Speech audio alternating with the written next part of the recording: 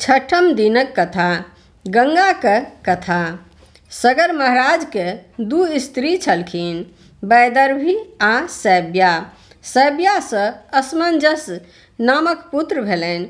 वैदर्भीके संतान नहि छलनि।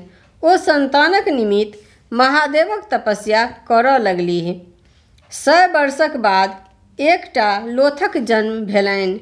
ई देख वैदर्भी कानऽ लगलीह। महादेवक स्मरण कयलनि महादेव ब्राह्मणक रूप धारण ओतऽ अयलाह आ ओहि लोथके साठि हज़ार खण्डके प्रत्येकके एक एक तौलामे तेल दऽ झाँपि कऽ राखि देलनि। थोड़ेक दिनक बाद साठियो हज़ार लोथक खण्ड साठि हज़ार सुन्दर आ बलवान पुत्रक रूपमे प्रकट भऽ गेल सगर महाराज निन्यानवेटा अश्वमेघ यज्ञ पूरा कऽ स्वयं यज्ञ करबाक तैयारीमे लागल छलाह। किन्तु इन्द्र नहि चाहैत छलाह जे हुनकर यज्ञ पूर्ण हुए। कारण सएटा अश्वमेघ यज्ञ कऽ लेला पर ओ व्यक्ति व्यक्ति सतक्रतु इन्द्र भऽ जाइत अछि। तैँ ओ कोनो ने कोनो विघ्न उपस्थित कऽ दैत अश्वमेधक घोड़ा छोड़ल गेल, जकर रखवार राजा सगरके वएह साठियो हज़ार पुत्र भेलाह। इन्द्र अपन छल बलसँ घोड़ा लय भागि गेलाह। अगर सगरके साठियो हज़ार पुत्र इन्द्रके खिहारलकनि। ओसभ घोड़ाके तकबाक लेल पृथ्वीके कोड़ैत आगू बढ़ैत गेलाह। अन्तमे घोड़ाके कपिल मुनि के आश्रम में बान्हल देखलनि। कपिल मुनि तपस्या में लीन छलाह। सगरके पुत्रसभ हुनकर चोर बुझि दौड़ल। मुनिके ध्यान भङ्ग भऽ गेलनि। हुनकर क्रुद्ध दृष्टिसँ साठियो हज़ार राजकुमार तत्क्षण जरि कऽ भस्म भऽ गेलाह। राजाके यज्ञ अपूर्ण रहि गेलनि। सगर महाराज शोकाकुल भऽ मरि गेलाह। राजकुमार सब अल्प मृत्यु छलाह। हुनका सबके सदगतिके उपायके विचार करबाक लेल ज्ञानी लोकसभ सभा बैसौलनि। सभा एहि निष्कर्ष पर पहुँचल जे यदि गंगा वैकुण्ठसँ पृथ्वी पर आबथि आ हुनका सभक छौरके डुबा कऽ पवित्र करथि तखने राजकुमार सबके सदगति प्राप्त भऽ सकैत छनि। एहि लेल हुनकर वैमात्रे भाय असमंजस तपस्या करैत करैत मरि गेलाह। हुनकर बेटा दिलीप सेहो लाख वर्ष धरि तपस्या कयलाक उपरान्त मरि गेलाह। दिलीपक बेटा अंशुमान सेहो तपस्या करैत मुइलाह। तखन हुनकर बेटा भगीरथ तपस्या करऽ लगलाह। हुनकर तपस्यासँ विष्णु प्रसन्न भऽ हुनका गंगाके वैकुण्ठसँ मृतलोक अनबाक अनुमति देलखिन। गंगाके एकाएक पृथ्वी पर उतर उतरि गेलासँ पृथ्वी रसातलमे धसि जैतथिन। ताहि हेतु महादेव हिमालयके ऊँच चोटी पर चढ़ि हुनका अपन माथ पर उतारि जटामे समेट लेलनि। हुनकर जटासँ निकलि गंगा हिमालय प्रदेशके दहबैत विदा भेलीह। जखन जहानु ऋषिके आश्रम दहाय लागल तऽ ओ गंगाके पीब गेलाह। ई भागीरथक लेल जटिल समस्या उपस्थित कऽ देलक। ओ साहसी छलाह। ओ मुनिके सेवामे लागि गेलाह।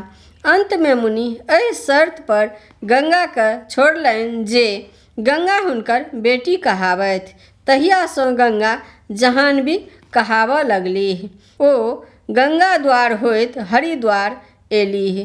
भगीरथ हुनका आगू आगू ओम्हर गेलाह, जेम्हर हुनकर पितरके छौर छलनि। गंगा सबके दहबैत, डूबैत, भगीरथक पाछू पाछू चलैत चलैत अन्तमे ओहि महाविशाल खादिमे खसलीह, जकरा सगरके साठि हज़ार पुत्र अश्वमेघक घोड़ा तकबामे खुन्ने छलाह। तैँ आब ओ सागर कहबैत अछि। तरहें गंगा मृत लोकमे आबि सगरके साठि हज़ार बेटाके सदगति देलनि तथा भागीरथक परिश्रमके सफल बनौलनि। श्री गौरीके जन्म। सती सतीके मृत्युक बाद महादेव संसारसँ विरक्त भऽ कोनो निर्जन स्थानमे तपस्यामे लीन भऽ गेलाह। हुनका संसारक कोनो सुधि नहि रहि गेलनि। एहि बीचमे राक्षस सभक उपद्रव बहुत बढ़ि गेल। ओहिमे तारकासुर परम पराक्रमी भेल। ओ तपस्याके बल पर ब्रह्माके प्रसन्न कऽ वरदान मंगलक, जे, हम अमर रही। ब्रह्मा कहलनि जे, ई असंभव अछि जे जन्म लेलक, तकर मरण अनिवार्य छै। तखन ओ दोसर वरदान मंगलक, जे, हमर मृत्यु महादेवक औरस पुत्रक हाथे हुए। ब्रह्मा तथास्तु कहि देलनि।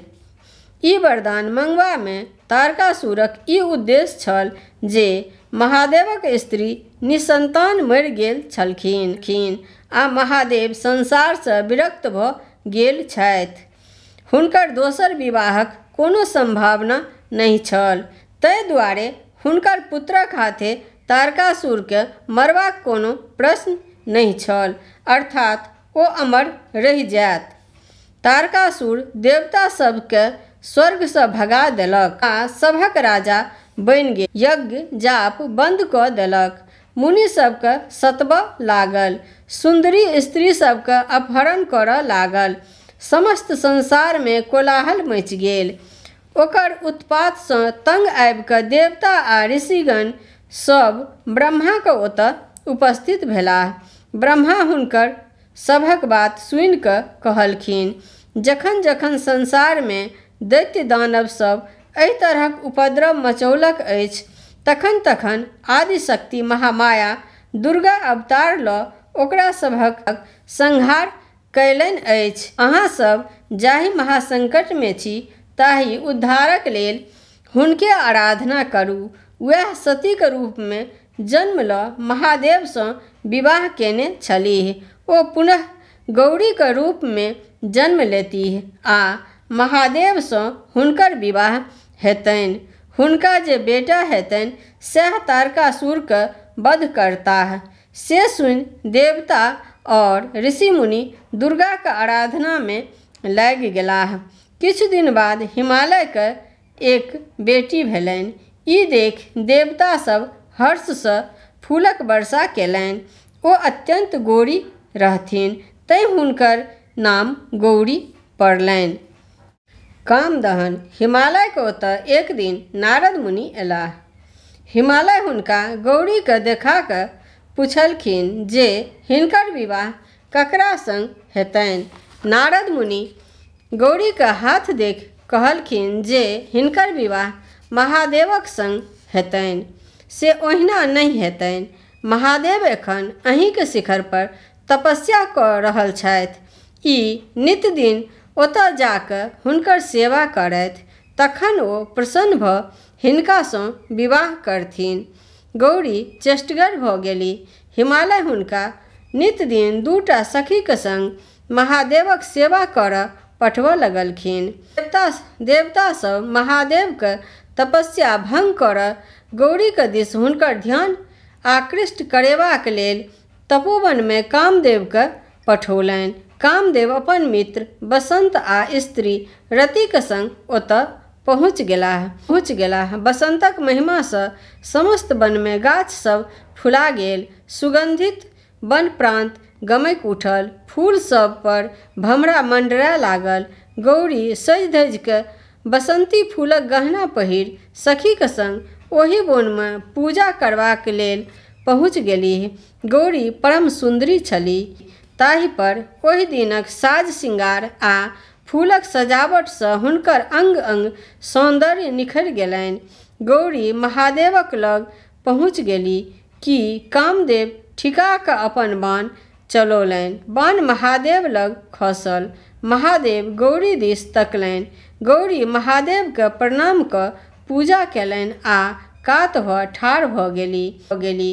गौरीके सुन्दरता देख महादेव आकर्षित भऽ गेलाह आजुक अहाँके शोभाके वर्णन के कऽ सकैत अछि? एतबा कहि महादेव, गौरीके आँचर दिस हाथ बढ़ौलनि कि संकोच बस गौरी कनेक दूर हटि हटि महादेव दिस टकटकी लगा देलनि। महादेवके एकाएक ध्यानमे अयलनि यदि वएह एना कामातुर भऽ जेता तऽ आन लोक की करत, ओ एम्हर ओम्हर ताकऽ लगलाह। तैँ झाड़ीमे नुकायल कामदेवके देखलनि। हुनका बड़ तामस भेलनि। क्रोधसँ हुनकर त्रिनेत्र खुजि गेलनि। तुरत कामदेव जरि कऽ भस्म भऽ गेलाह। रति अपन स्वामीके भस्म होइत देख मूर्छित भऽ गेली। होश भेला पर ओ करुणा विलाप करऽ लगली। देवता सब रतिके दशा देख महादेवके ओतऽ गेलाह आ कहलखिन जे, एहिमे कामदेवक कोनो दोष नहि छलनि।